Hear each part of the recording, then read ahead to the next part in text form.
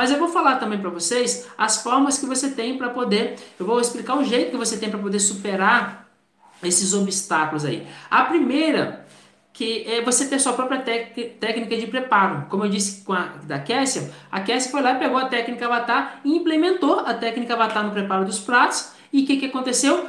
Resolveram o problema. Por quê? Quando ela estava trabalhando com a batata congelada, batata ficava encharcada, ela acabava de fritar, empacotava. Antes de sair da cozinha dela, a batata já estava murcha, esfriava muito rápido. Então, tudo isso trazia dificuldade. Com a própria técnica de preparo, facilitou drasticamente, resolveu drasticamente a, a, os problemas que ela tinha no preparo da batata dela, tá beleza? segunda forma que você tem para superar esses obstáculos é vender pratos é, menores, tá bom? E consequentemente mais baratos. Se você vende uma porção menor um pouquinho, você tem pratos mais baratos para poder oferecer para o seu cliente. Só que esses pratos menores e mais baratos, eles têm que estar ligados a, de acordo com, com o que você dá conta de produzir. Não é ficar mais barato porque é mais legal vender mais barato.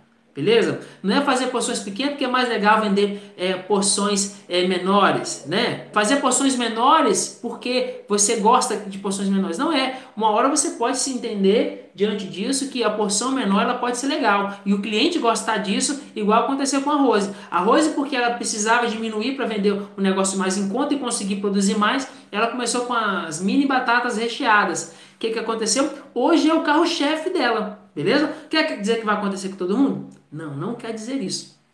Tá? Não quer dizer isso. Então, defina pratos que possam ser menores, assim você vende por um valor menor.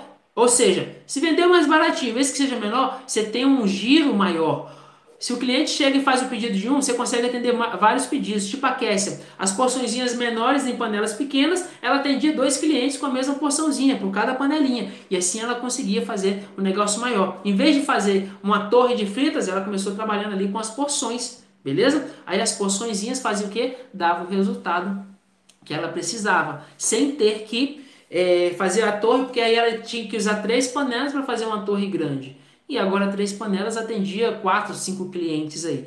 Então ter essa malícia também para poder fazer essas porções, a montagem do prato do produto não tem nada a ver com os equipamentos. Claro que, que é legal que você faça um produto que você ache ideal, mas para esse começo, a ideia aqui, o tema é como você pode começar, mesmo sem equipamentos, é trabalhando com porções menores, tá certo? E mesmo, ah, mas eu já tenho maquinário, já estou em atividade. Como é que eu posso resolver isso? Cara, faça porções menores.